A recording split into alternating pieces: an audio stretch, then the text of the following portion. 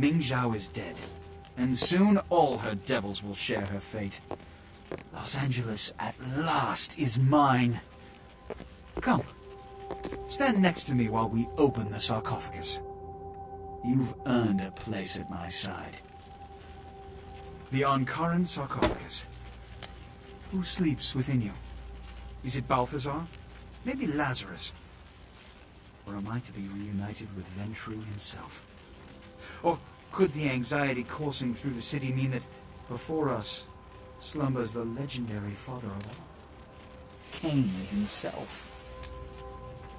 One thing is certain.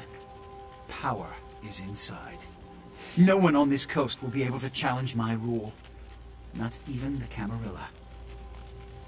You've earned the right. Open the sarcophagus.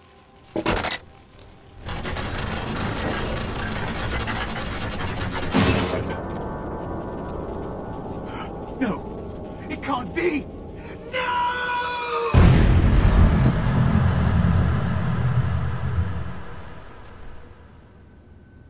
Now ain't that a beautiful thing? Hey, Messerot, buddy, I'm talking to you. you don't really talk much, do you? hey, it happened just like you said. they never even knew what hit them. Threw that sarcophagus out there and they just tore each other up trying to get to it. Too bad about the kid. Ah, well, you can't call them all. Remember, wherever we go, it is the blood of Caine which makes our fate. Farewell.